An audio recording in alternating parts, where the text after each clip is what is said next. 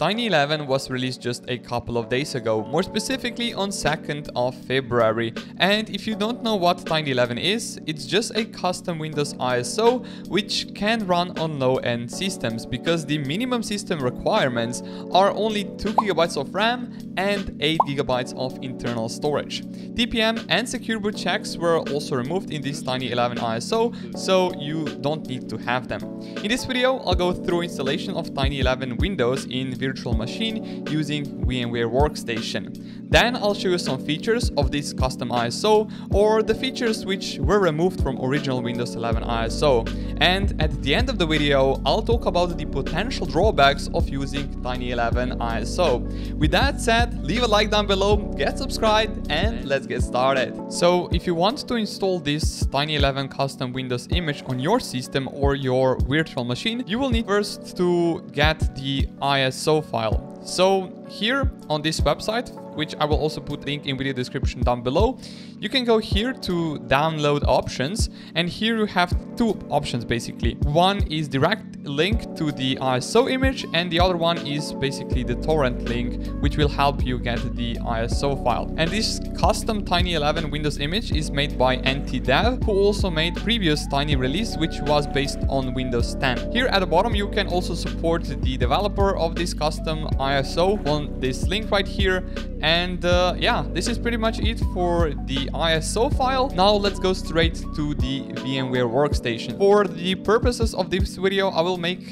a custom virtual machine which will use the minimum requirements only for this custom Tiny 11 ISO. Here on the left, I will right click and select here new virtual machine. I will click next and here I will select browse to select this Tiny 11B1 ISO. Here I will click open and you, you can already see that VMware Workstation actually detected Windows 11. Here I will click next. I will name this virtual machine Windows 11 Tiny and here I will select the location to the browse. This PC local disk C. Here I will create a new folder, make new folder, and I will call it VM underscore and tiny click OK. And now let's go next. Here you will need to enter the password for encryption, but later in the video I will also remove this encryption for the trusted platform module. So here I will enter the password from 1 to 8. So 1, 2, 3, 4, 5, 6, 7, 8. And now we can just repeat this. So 1, 2, 3, 4, 5, 6, 7, 8. Let's click next. Here I will select maximum disk size to 10 gigabytes and I will store virtual disk as a single file here.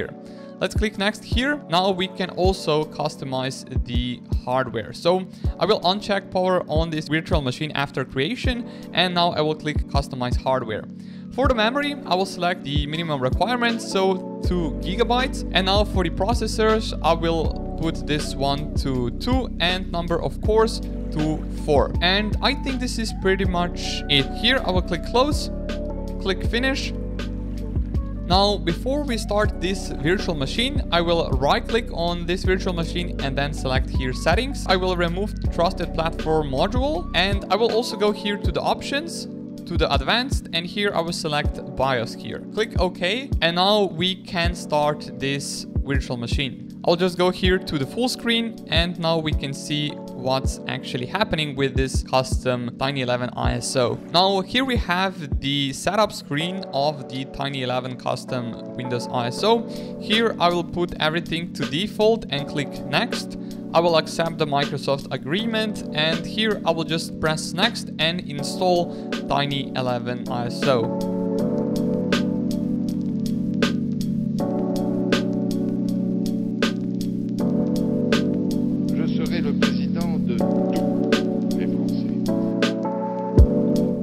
Here I will continue the setup process which I believe is the same as the original Windows 11 ISO.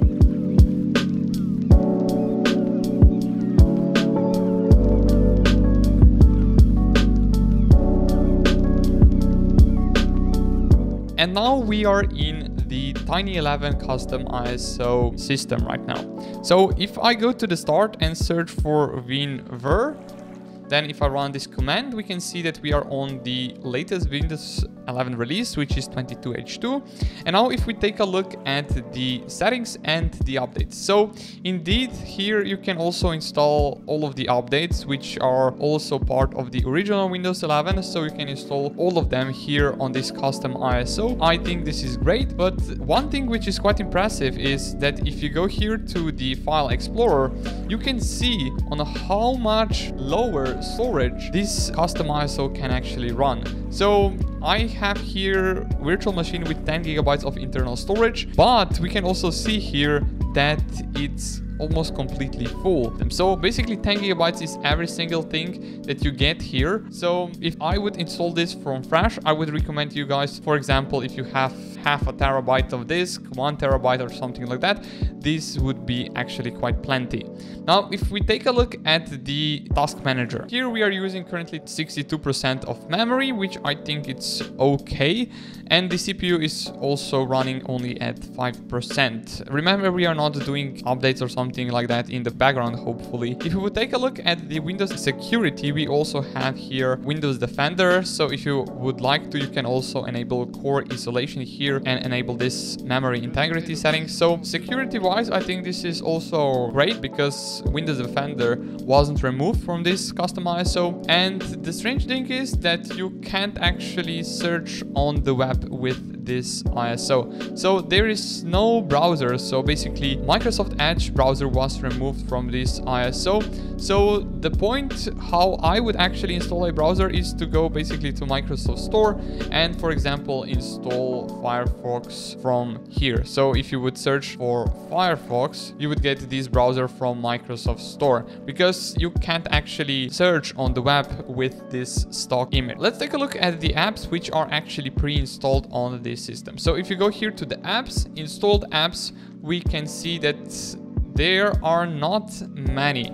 So we have calculator, camera, Microsoft Photos, Microsoft Store, Teams, Notepad, and so and so on. So only the essentials, I believe. There is no map, there is no like painter, there is no Xbox services or something like this. And I think, yeah, you actually don't need Xbox services.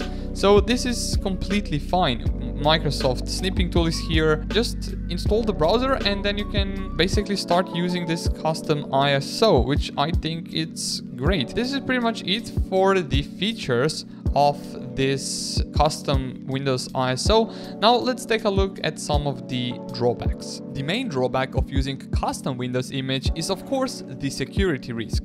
Developer is already getting some backslash on Twitter. He states, apparently now I'm a state actor that redirects Microsoft's telemetry data through my own servers. And people in the comments trying to unveil my nefarious plan of stealing everyone's data while committing piracy and bankrupting Microsoft. This is all understandable, but the main question still remains. Are you willing to sacrifice piece of security for better performance? I mean, the thing that you can actually run Windows 11 on only 10 gigabytes of internal storage and 2 gigabytes of RAM on its own is pretty amazing. So, would you guys install Tiny 11? Let me know in the comment section down below. With that said, this has been Tech Enthusiast video. If you enjoyed it, like the video and subscribe to the channel would be much appreciated. And while you are down there, make sure that you support the developer of Tiny 11 on Patreon as well. Link will be in video description. Have an amazing rest of your day and I'll see you all in the next one. Peace.